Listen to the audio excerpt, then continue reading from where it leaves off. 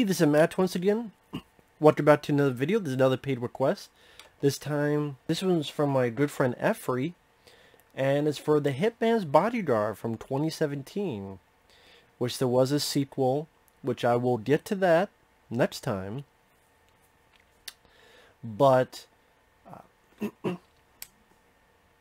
once again, for folks out there, thanks for watching, and for those who want to send any type of requests, commentaries, reviews, re-reviews, randomness, out of blueness, rankings lists, reactions, whatever it may be, feel free to send me the directly to my PayPal or join my Patreon.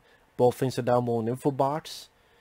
And uh, The Hitman's Bodyguard is a film I enjoyed uh, ever since I saw it back in 2017. I believe I had it in my top 10 favorites of the year.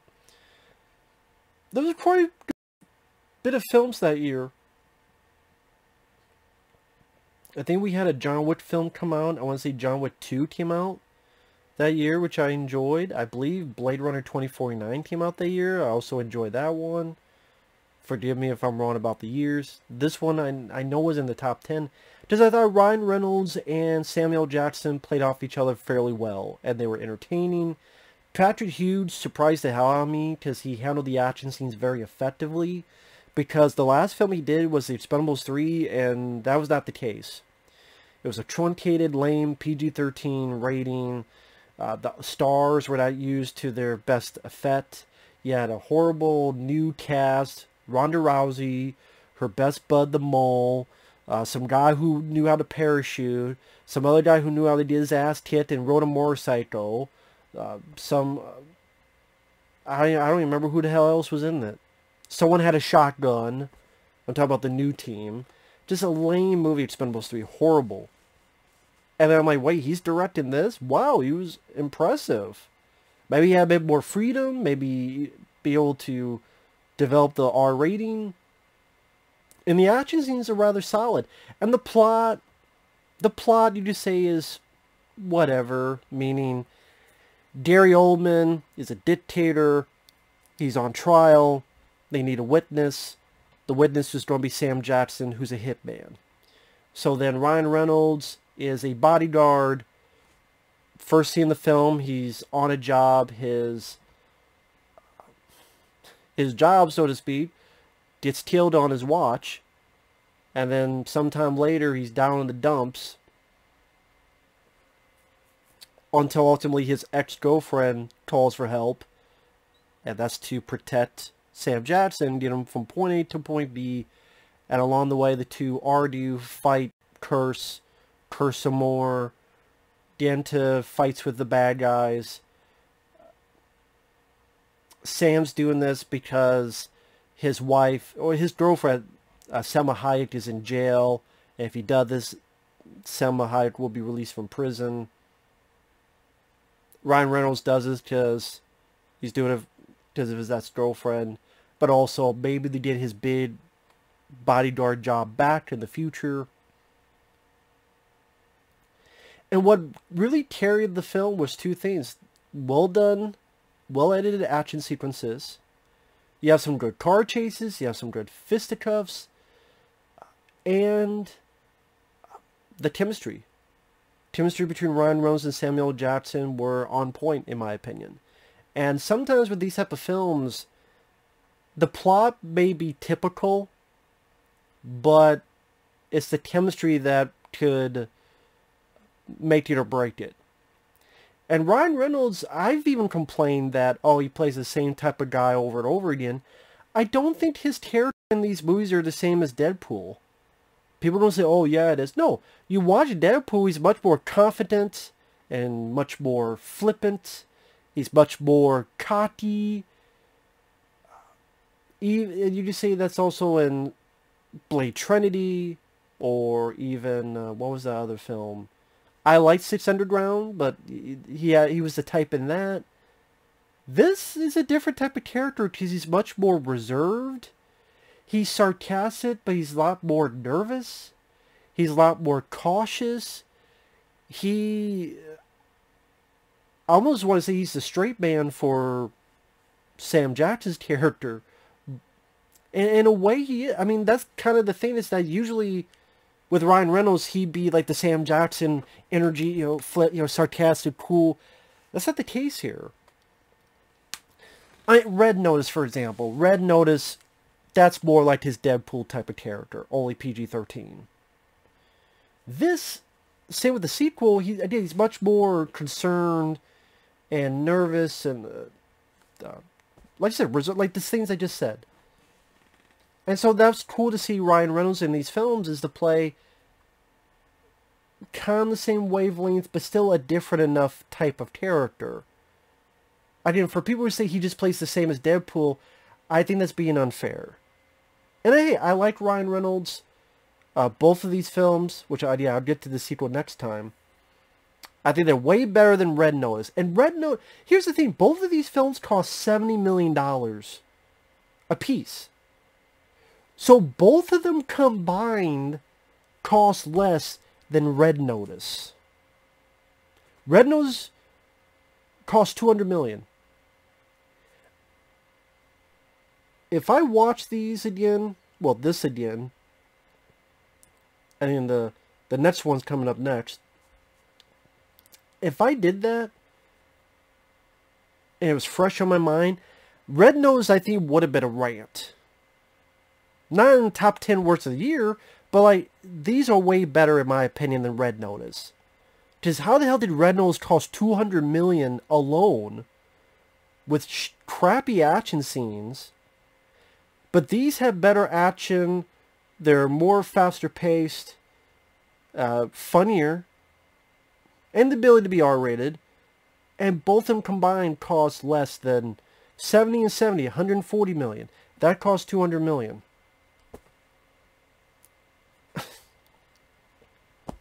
I don't get it. And uh, I will say the the opening like first 20 minutes is still entertaining. You know, everything going fine with Ryan Reynolds, then when the shit hits the fan, where things have gone from there. Uh, but I wouldn't say it really got. It didn't really get funny until about a third of the way in when Ryan and Sam are finally together and they're getting to know each other's rhythm and pattern, that's what it really kicks into gear. But even before there's entertaining stuff. Like the little bit where Ryan Reynolds gets a call from his ex and the thing says pure evil. that's the name he's given to her. Or when Sam Jackson calls Salma Hayek and they're very volatile, but yet they can be very sweet with each other. And that's carried even more in the sequel. Or when, uh, action-wise, Sam Jackson is in this caravan to be taken this, to where he needs to go. It gets hit by bad guys, and Sam Jackson gets a gun and shoots. You see blood squibs. Maybe not every single one, but there's quite a bit of blood squibs. Which then, I mean, I love the John Wick films. That's one of the few things I complain is why are they not using as much squibs compared to like this film?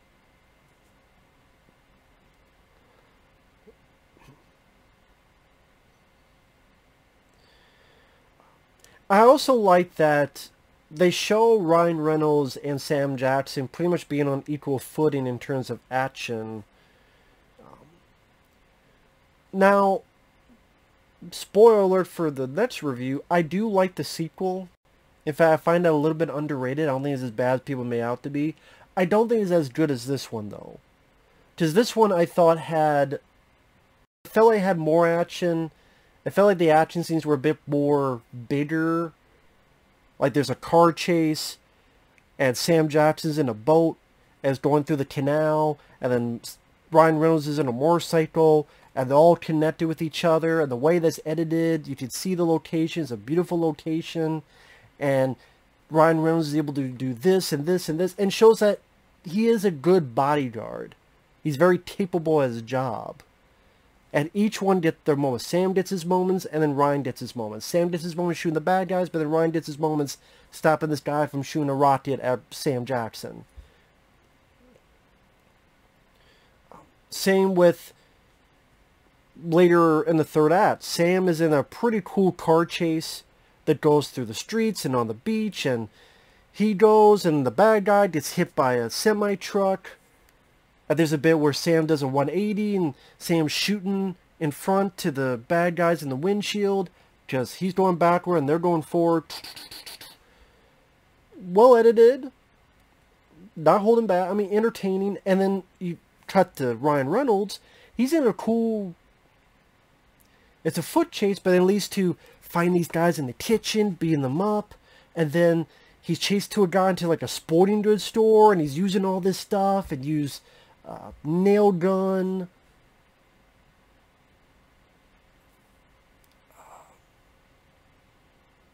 I mean, I thought that was. Uh, I'm trying to remember what. There's something else I'm thinking of. A chain. That's an axe and a chain. Yeah, he uses an axe and a chain. But I mean, that's a really cool fight scene. Um, there's a bit of that missing in the sequel. I think because this feels more like an action film with comedy. The sequel is more comedy first, with some action. And I do think that's one of the reasons why I do feel this film is better than the sequel. But the, the sequel I did enjoy. I don't think as bad as people may out to be. But and I do think the sequel is, is fairly fast paced. And that's that's one thing. I think the sequel is a bit better paced. Because again, this one I'm enjoying the first 20, 30 minutes, but it feels like it doesn't truly start going. I would say when they're escaping the hotel and Ryan's like, okay, we gotta find the intelligent way, and then Sam jumps, oh, motherfucker. And Ryan's like, holy fucking shit. What's this guy doing? And then he jumps, not jumps, he climbs down. Like, the movie's enjoyable for little bits here and there, but that's where the movie really kicks off yeah, I do think the second film, I think the second film is shorter. And it does feel like it goes by a bit faster pace. And some people were annoyed by Salma Hayek in the second one. I actually really enjoyed it. I think she was uh, very funny in that. That's just me. And the, you know, she has little bits in this film entertaining, but I think in the sequel she's even more funny. So I, I still enjoy them. I do think they work well together. And that's why I can excuse the sequel not having as big of action because I was I still found it rather entertaining. And that way it also doesn't come off as like a copy of this one.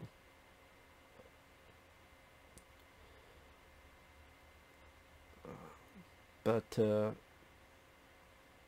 yeah, Ryan and Sam well together. I think they have great chemistry with each other like when they're singing the songs and Sam Jackson's annoy him, so Ryan's like, I saw the sign, and open up my eyes, I saw the sign.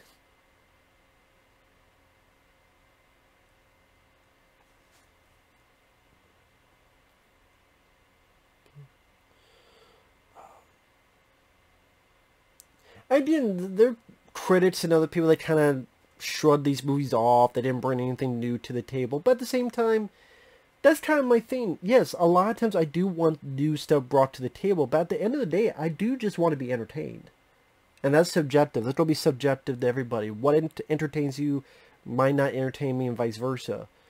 And even if it's familiar ground or cliched ground, if you're entertaining, at the end of the day, that is truly all that matters to me. And whether it be when they're stopped by bad guys, and Sam Jackson shoots them and things seem fine, but then they had guns in the trunk, and it shoots out like fireworks, and one shoots up and blows up the bad guy's van, so they can't take that. So Sam's laughing while Ryan is just sad. Um, you got got to check out me because of the behavior of our two leads. And with Patrick Hughes, some of the way he directed scenes, the flashback with Sam telling Ryan how he first met Salma Hayek. And it's a bar, and you have the song, Hello. And the way it's done in slow motion, and Salma Hayek beating the shit out of people, shows her ass, and Sam's like, which I don't blame him. Which nowadays you probably can't deal with, because too un-PC. But these films, like, they just embrace more of the fun. Sit back, enjoy, have fun. And these films were fun. In this one, when uh, they find a ride, and Sam Jackson is telling him something, Ryan's like, why don't you fuck yourself? And how did he say it? Why don't you go fuck you wrote it us? he realizes the whole thing, the whole van is filled with nuns. That seems like something that would be in an 80s or early 90s movie. Like you say that's a, a joke you you've it feels like a joke I've kind of seen before, but not quite this way. But it, like that's nostalgia done right. Is that copying something from this specific movie, like Ghostbusters Afterlife, copying the fucking first Ghostbusters, including the entire fucking ending, or The Force Awakens, copying pretty much everything from A New Hope?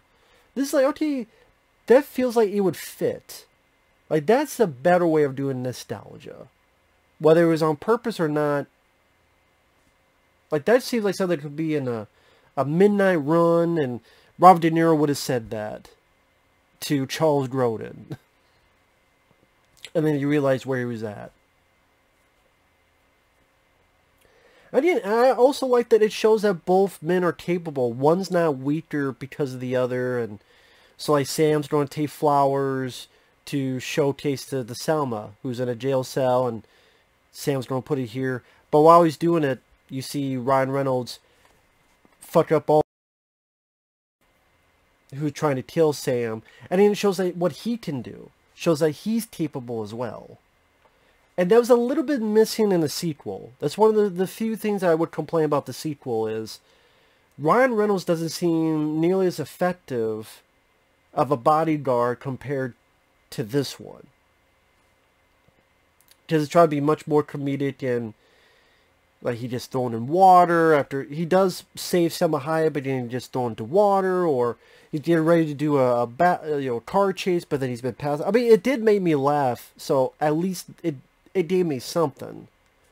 Again, I'm just explaining why I do think the sequel is fun and entertaining. If you like the first one, I do think it's a worthy sequel, and I'll get more to that next time. But I, I did. I think the action scenes they just felt a bit bigger, felt a bit grander, and again, Ryan Reynolds seemed like they were on equal footing action-wise.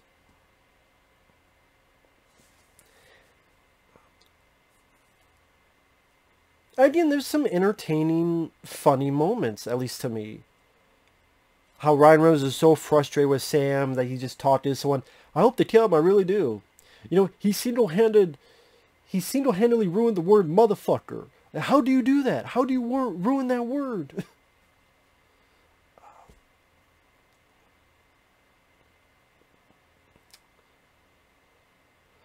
Or later on where Sam's like, I will bust a cap in your ass.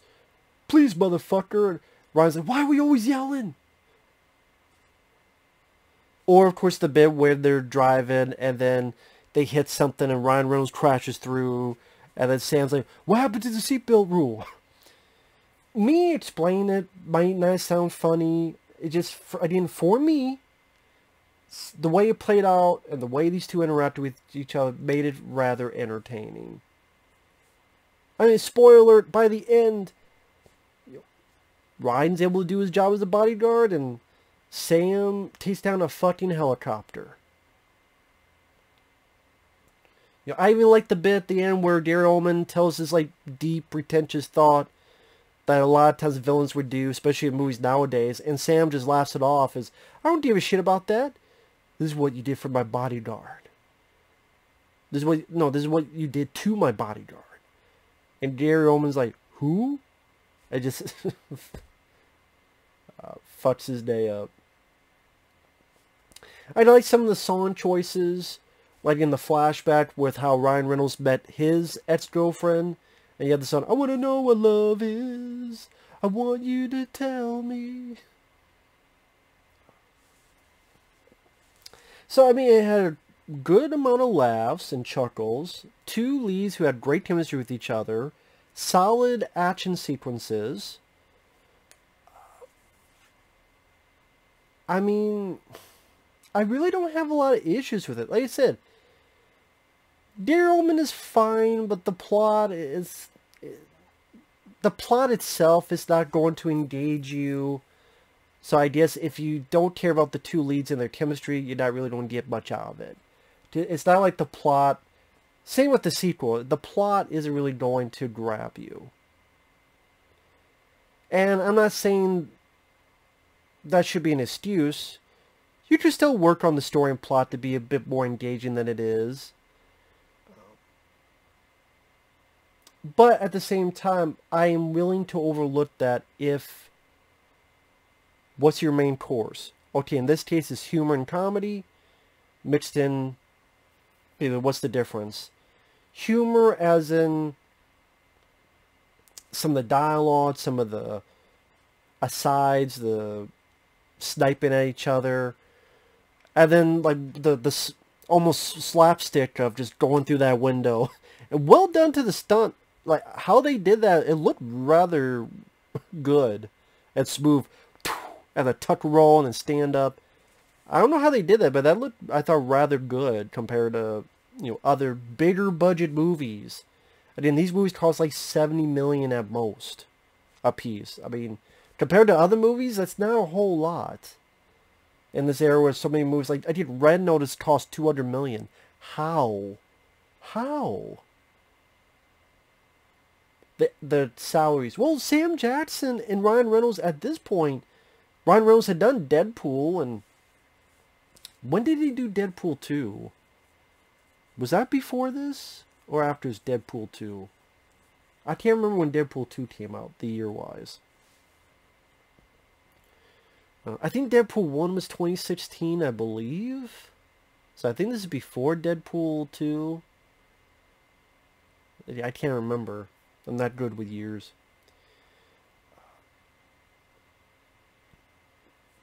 But yeah, I thought this was a lot of fun. I thought it was very entertaining.